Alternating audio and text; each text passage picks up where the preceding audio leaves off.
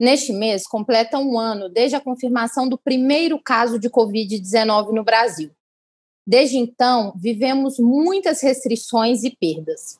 Os profissionais da saúde se dedicaram como nunca a salvar vidas. Em meio a angústias, medo e ansiedade, uma ponta de esperança parece renascer. Começamos a vacinação.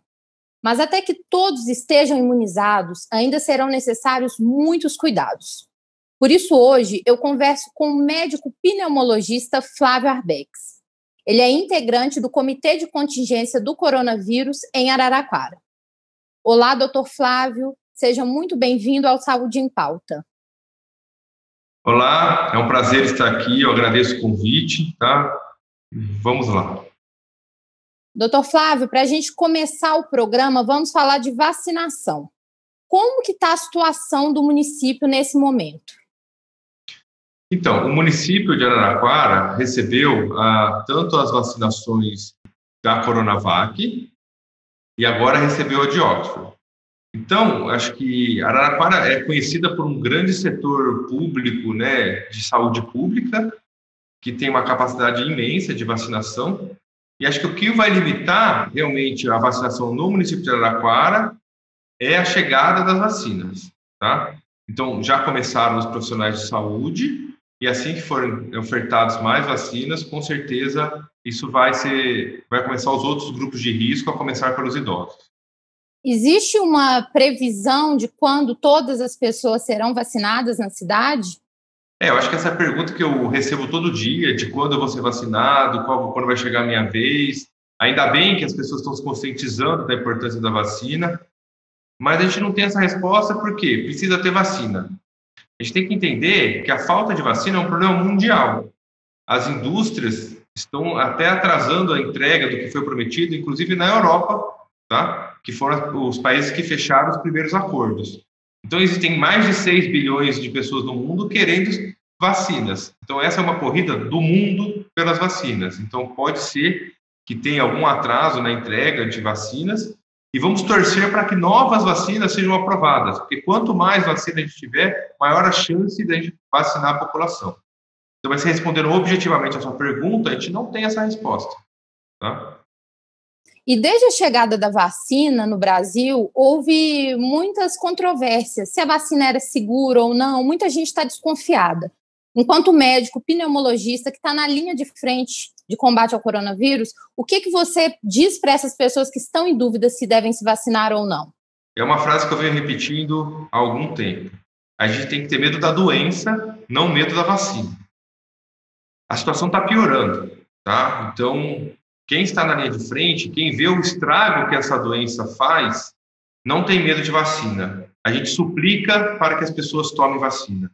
A doença não é brincadeira. A grande maioria dos casos vão ser casos leves. A grande maioria dos casos que tiverem internações vão se recuperar, mas quando a doença evolui mal, é uma doença extremamente grave. E como a gente está vendo um aumento do número de pessoas, proporcionalmente, nós vamos ter um aumento no número de pacientes graves. E isso vai trazer problemas no sistema de saúde. Nenhum, ninguém vai conseguir aguentar esse tanto de casos novos com tanto de casos graves que estão acontecendo.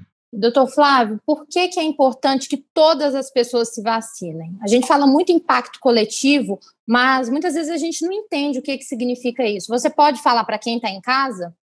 Isso é muito importante.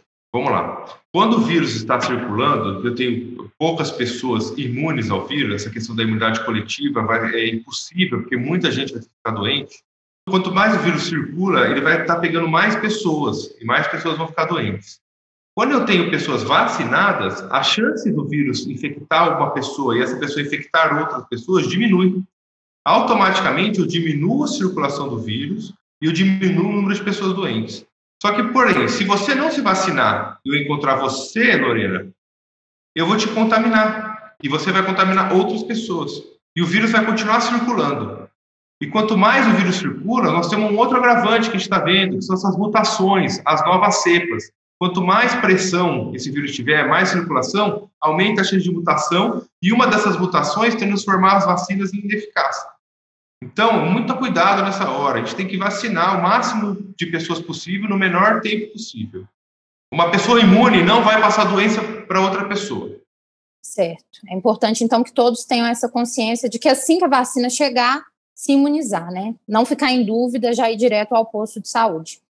Doutor Flávio, e a gente sabe que a vacina vai demorar, não há previsão para que todos os brasileiros sejam imunizados. Enquanto isso, quais são os cuidados que a população tem que tomar? Os cuidados que a gente fala há um ano: distanciamento social, lavar a mão com água, sabão álcool gel e uso de máscara. Isso é um fato. A guarda foi baixada. Final do ano, as pessoas estão. Eu sei, eu entendo que as pessoas estão cansadas. Eu entendo que o isolamento social é, traz diversos problemas econômicos, sociais, psicológicos, mas nós estamos vendo com assustados um aumento intenso do número de casos. Se nós não tomarmos cuidado, é, não vai ser onda, vai ser tsunami o que nós vamos viver triste. Inclusive, é, na semana passada, o governo de São Paulo reclassificou Araraquara para a fase laranja. Como que está a situação aqui no município em termos de ocupação de UTI de leitos, doutor Flávio? Então, Araraquara vem fazendo um trabalho elogiado, né, desde o começo da pandemia, mas não existe trabalho, não existe quem consiga é, vencer essa batalha se o pacto coletivo não for feito. Se as pessoas não entenderem que elas precisam fazer distanciamento social, lavar a, a, as mãos, usar máscara, não tem cidade no mundo, não tem país no mundo que vai aguentar. A gente já viu países europeus falhando, sofrendo com isso. Imagina a situação do nosso país. Mas é, o fato é, é que o número está aumentando, tá? O número de casos está aumentando, a demanda por leitos de UTI, leitos de enfermaria está aumentando hoje em Araraquara.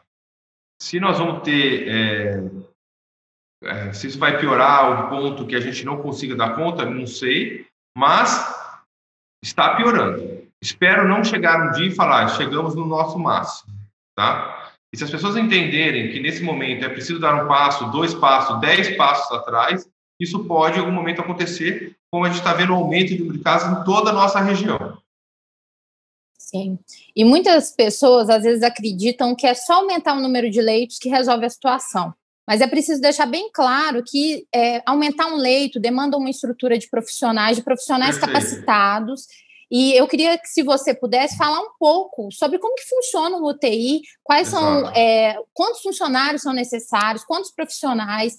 A demanda é estressante, então, enquanto profissional que está na linha de frente, seria interessante também falar um pouco para o pessoal que está em casa, para até uma forma de se conscientizar, né?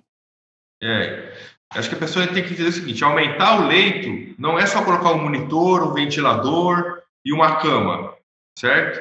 A gente de profissionais de saúde capacitados para lidar com esse tipo de situação. Os pacientes, quando evoluem mal, precisam de UTI, são pacientes graves. Eles precisam de um suporte intensivo, de uma equipe treinada. Não tem como, não tem como você achar profissionais de saúde assim, nessa velocidade que, que as pessoas acreditam que a gente consegue. É impossível. Os profissionais de saúde estão há um ano nessa luta árdua contra esse vírus. Tá? Os profissionais de saúde estão cansados também.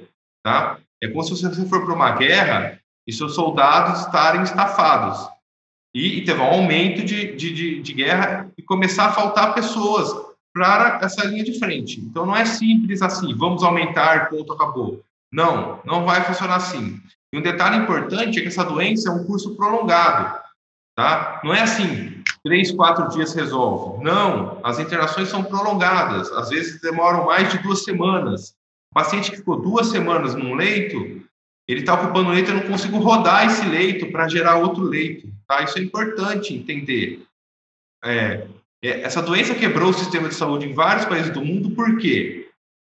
Porque os profissionais de saúde ficam doentes, você não consegue repor adequadamente, e porque o tempo da doença é prolongado. É muito tempo de pessoas dentro do hospital. Entendi, doutor Flávio. Eu agradeço por você estar aqui hoje conosco, por ter tirado um tempo aí do seu trabalho para conscientizar a população que a gente precisa entender que esse vírus é um problema coletivo e que somente juntos vamos conseguir combatê-lo. Eu não queria estar aqui dizendo o que eu estou dizendo hoje, estou dizendo agora, mas nós estamos, os números mostram isso, isso não vem da minha opinião, da minha cabeça. Os números mostram que estamos vivendo o pior momento da pandemia. Tá? Então, a gente precisa realmente de um pacto coletivo, não só para a vacina, como para as medidas que a gente orienta para diminuir a circulação do vírus. Tá? Então, é isso. Você que está em casa, siga os protocolos de segurança. Mantenha o distanciamento social, use máscaras e álcool em gel. Obrigada pela sua companhia e até a próxima.